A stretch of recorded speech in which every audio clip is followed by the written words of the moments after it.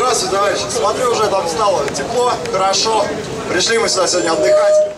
Но, ребят, давай не будем забывать главное. То, что наша цель – это борьба с этим долбанным режимом, с режимом буржуев. Что мы можем им ответить? У нас есть для этого одно решение.